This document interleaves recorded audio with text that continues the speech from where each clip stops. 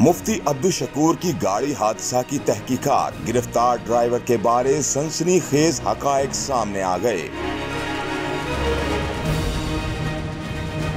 गुजश्ता दिनों ट्रैफ़िक हादसे में वफाकी वज़ीर ब्राय मजहबी अमूर अब्दुल शकूर जहाँ बहक हो गए थे। अफसोसनाक वाक़े की इतला इस्लामाबाद पुलिस ने ट्वीट करते हुए दी थी। पुलिस के मुताबिक मुफ्ती अब्दुल शकूर मैरिट से सेक्रेटेरिएट चौक की तरफ़ जा रहे थे। इसी दौरान हाईलक्स रेवो ने मौलाना अब्दुल शकूर की गाड़ी को टक्कर मारी, जिसमें पाँच आदमी सवार थे। तश्वीशनाक हालत में उन्हें पोली क्लिनिक अस्पताल मुंतकिल किया गया, लेकिन वो जानवर न हो सके। गाड़ी और सवार अफरा अफराद को पुलिस हिरासत में ले लिया गया है।